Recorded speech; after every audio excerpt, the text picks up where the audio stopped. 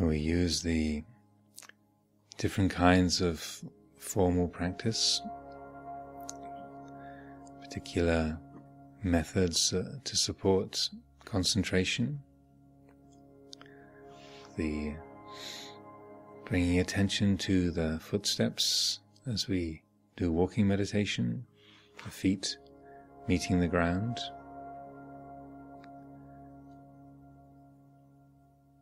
Mindfulness of breathing, the flow of the breath as we sit. The purpose of these exercises is to help ground the attention here in this present reality, this moment.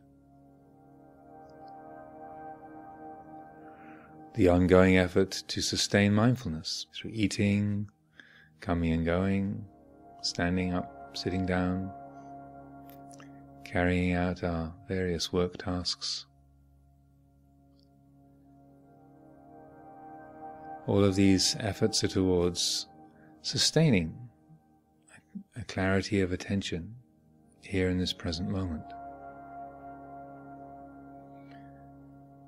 We don't pay attention to the breath in order to fixate upon the breath.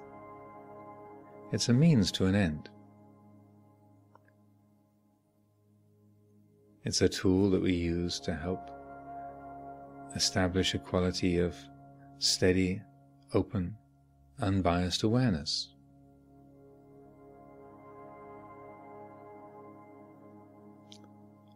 As the uh, mind becomes a little more quiet, steady, stable,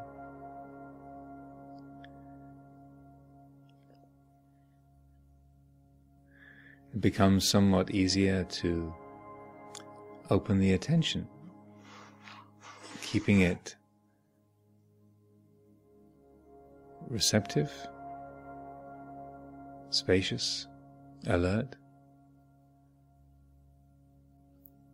without using a particular concentration object.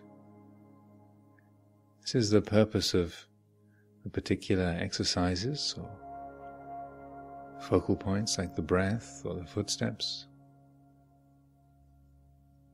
is to support the establishment of a clear and open awareness, a mindful attention to the present. That's what it's for.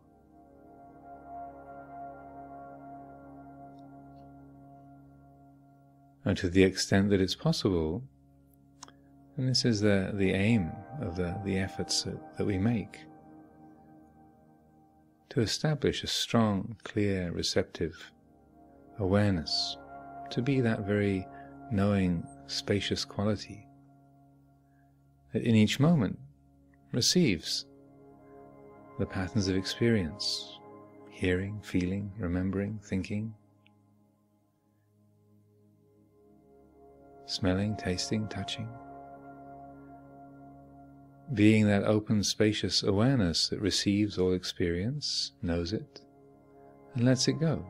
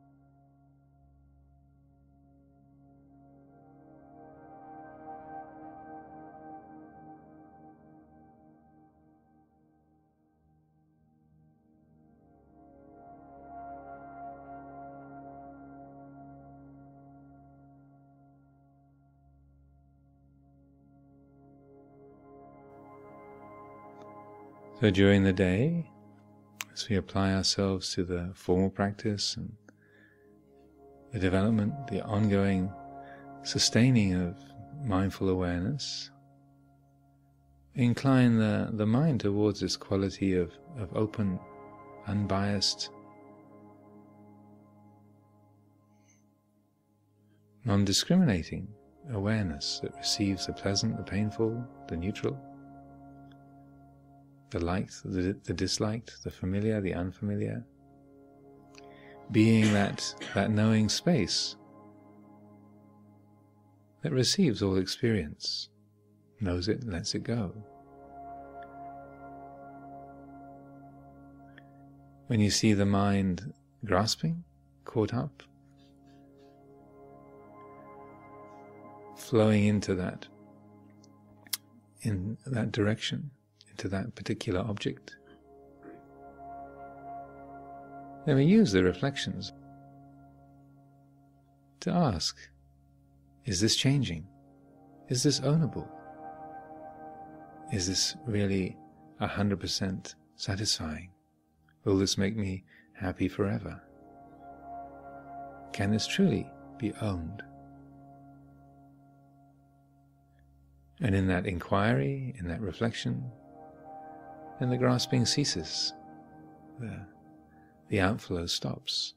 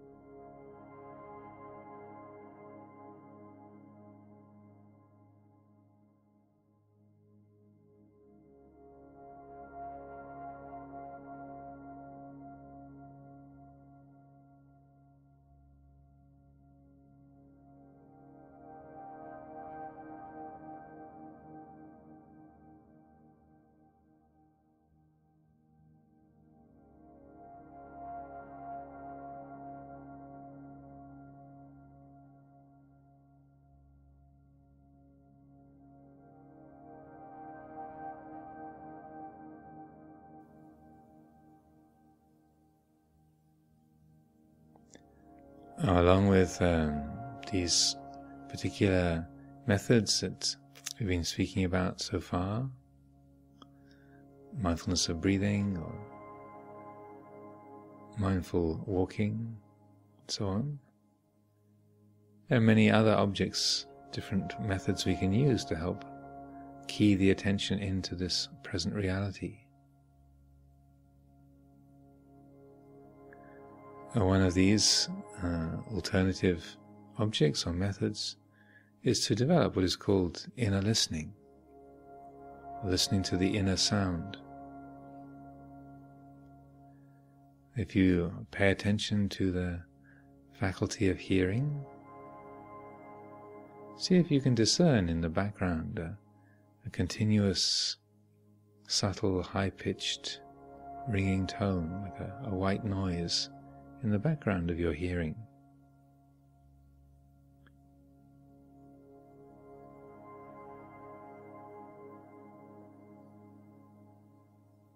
For some people, it's uh, this is not apparent or it's difficult to discern. But for, for many, for others, it's it's something that is not difficult to pick up, to perceive. So this inner sound, this continuous, high-pitched, ringing tone, like a subtle white noise, we can use the presence of this sound, so known as the nada in Sanskrit. The, the presence of this inner sound can be used as a meditation object. You can pay attention to it. Use it just as we use the presence of the breath. It doesn't begin or end. It's ever present. It's non personal. So we can develop this as a reference point, listening to the inner sound both as we sit and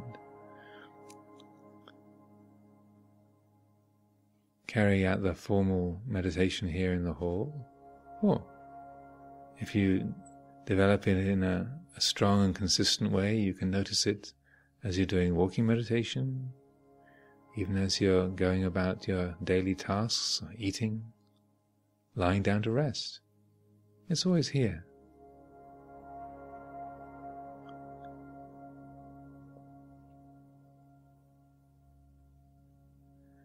For some people, this can be a, another helpful support for mindful awareness, helping to remind us to be awake, to pay attention. See if you can discern this inner sound. There's no need to theorize about it or worry about it or feel that you're a, failure if you can't hear it. But if it's discernible, then bring attention to that. Listen. Just to let the, the presence of that sound, that inner vibration, fill the, the space of awareness.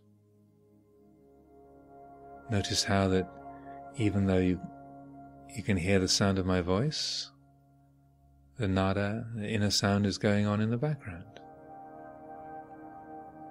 Or if we hear a pigeon, the sound of a plane, the inner sound still persists. It's still there like a, a backdrop of all experience.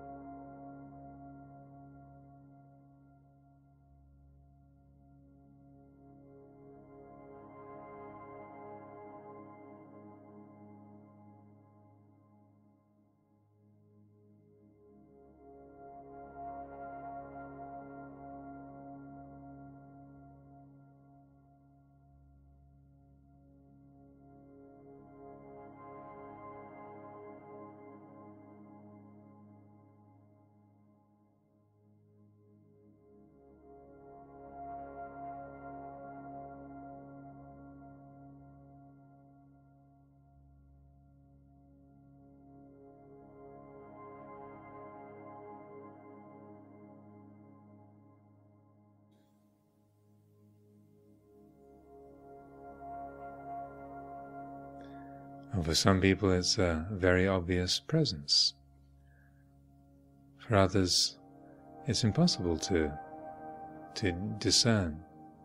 Nothing is apparent, either as a sound or as a physical sensation or, or anything. So, if that's the case, if there's nothing that you can perceive of this it's not apparent at all, then don't worry. That's just the the way things are arranged, how you're made up. You just use the the feeling of the breath, or the posture of the body, as reference points. But if it is discernible, if it's a a quality that you can perceive, then this is a, another support for, for mindfulness and awareness.